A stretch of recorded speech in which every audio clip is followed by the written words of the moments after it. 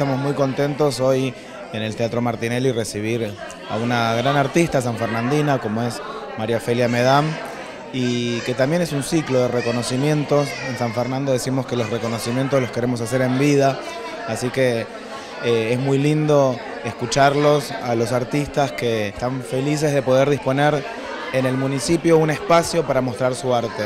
Sabemos que es muy costoso quizás alquilar una sala, eh, para poder exponer sus cuadros, sus pinturas y que el municipio tenga lugares como la Quinta Lombú, como el museo y acá el Teatro Martinelli, para que se los ofrecemos, para que puedan mostrar a todos los vecinos y familiares y amigos su arte, realmente nos enorgullece.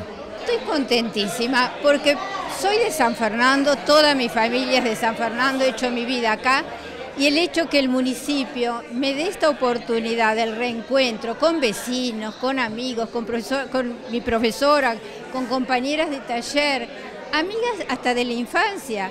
He estudiado siempre en San Fernando, me he recibido acá. Feliz de la vida de que otros también detrás de mí puedan acompañar esto y tener estos espacios. Es un lujo la Quinta del Ombú, el museo. Eh, se lucen. Es un homenaje hermoso que le hacen a María Ofelia, muy merecido. Pienso que tanto como ella como otros que están por venir merecen ser reconocidos en San Fernando eh, por su trayectoria, por su dedicación y por su vecindad.